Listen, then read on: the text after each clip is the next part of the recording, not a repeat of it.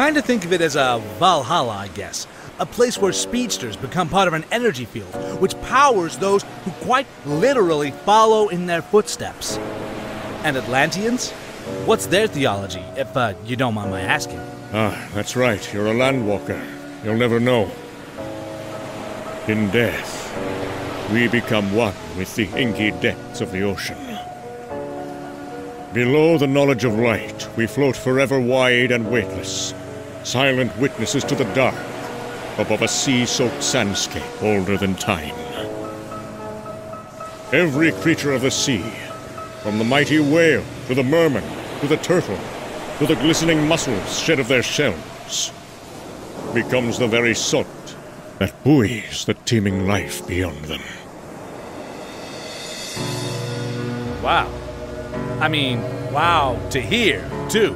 John, where are we? You're on Durla, a world of many tribes, but one spiritually based on reincarnation. A sense that the life death cycle transmogrifies Durlans into a more perfect form. Transmogrifies, yes. The Durlans are shapeshifters. They're tribes designated by the appearance they assume. In fact, the terrain beneath your feet is the Dago Daggle Be careful where you step, fleet feet. Fun. According to the mechanics, the Durlan sleeper has awakened, and civil war has erupted as a consequence. No kidding.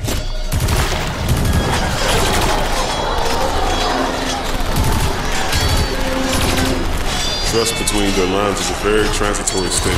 Rather than celebrate the chance to give vision to the quantum mechanics, the Tanaj tribe blames the sleeper's entire clan for Durla's abduction. Does it matter right this second?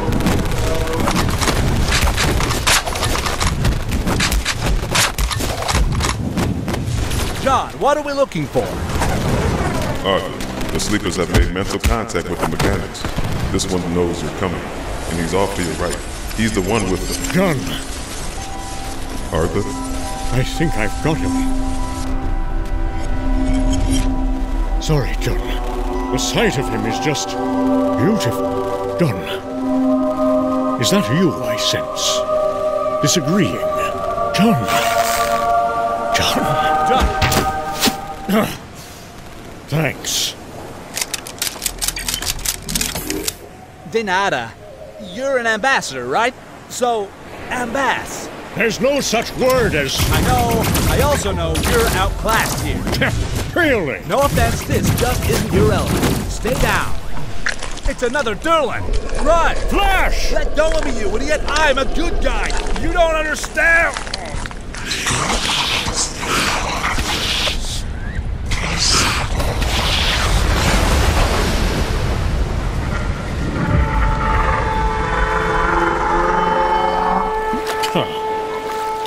Outclassed, you say? I stand corrected. You mentally commanded a Durlan water clan? They're not strictly sea life, but I was able to get my basic point across. I convinced them they had nothing to fear but one another.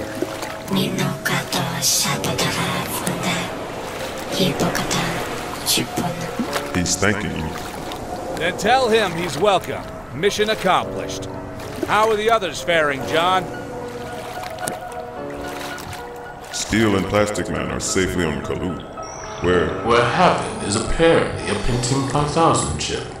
That I can get into. Not me. Too hard to break that Catholic school indoctrination. Heaven is wings and halos. End of story. You know, we once had an angel named Zauriel on this team. Didn't he teach you guys anything? Yes, Plastic Man. He taught us to respect one another's beliefs. For instance, the Coluans trust that death is an uploading of consciousness, that somewhere there is a mind cache containing reality's ultimate answer.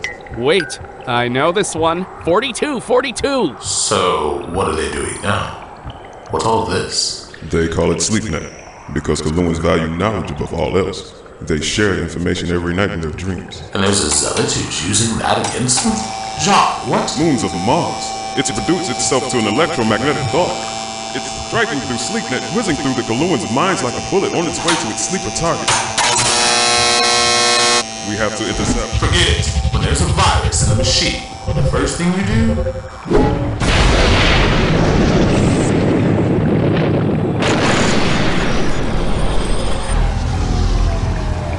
is shut down the system. Connection severed. Let's grab the sleeper before the zealot finds another way to get. You Neanderthal. What have you done? The SleepNet was the greatest technological accomplishment in the Milky Way. And you destroyed it. Reparations will take 2.8 billion hours. Uh huh. And how long would it have taken you to dig 2.8 billion graves? Thanks for the gratitude. Now, will you geniuses let me through? We don't have time.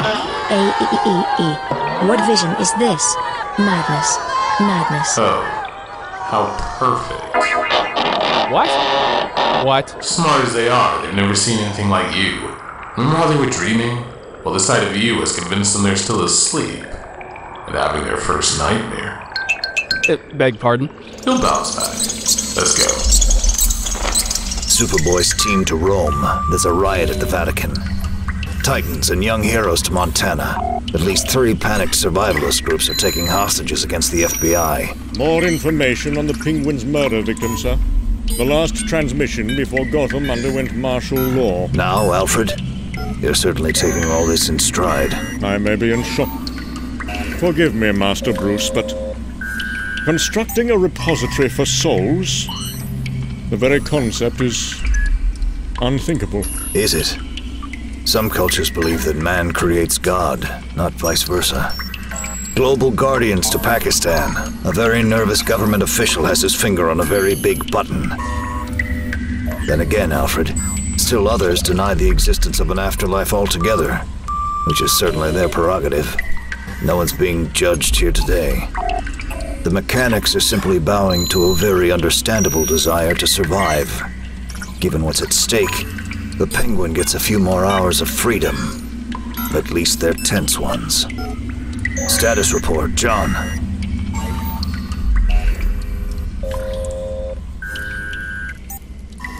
We've made contact on planet Ronda. With the aid of their champion Adam Strange, we knew what the sleeper's form signified.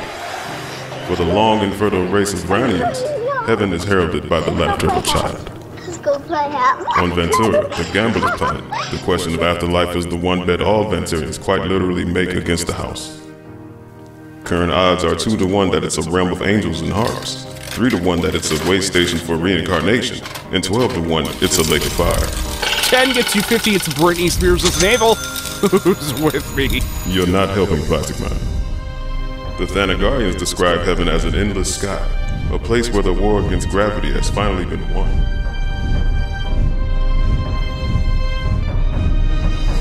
And as for the savages of Khundia, Lantern, where are we with retrieving the Kun Sleeper?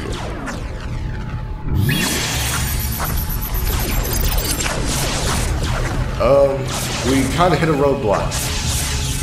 Well, negotiation is out. Ideas? It means we can move from defense to offense. You are so predictable. As are the Kuns, leave it to them to wage blind war against their captors without first assessing even the possibility of victory.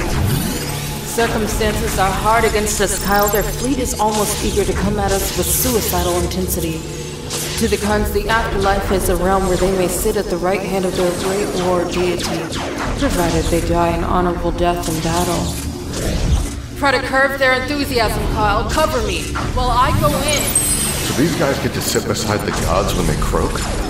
Does that mean they get to hang out with dead Amazons too? Hardly. And not all of the Sisters of Paradise Island believe in a particularly glorious afterlife. The ancient Greeks bequeathed us this lesson that death is but a dismal state. All men and women, from greatest to the most invincible, are eventually reclaimed by the soil of Mother Earth. The only way to deny death, then, is to live each day to its absolute fullest by constantly striving to carve an immortal legend which will serve as your eternal legacy. By making the extraordinary look easy.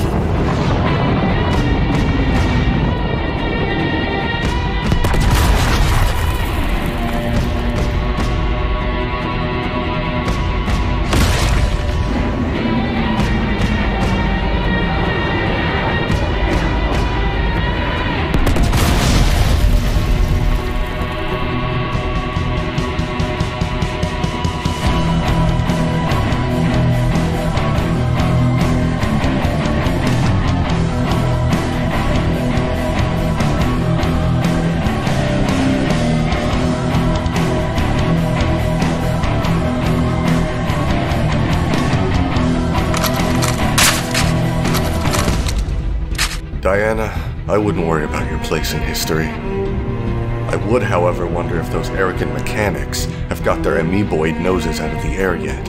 John,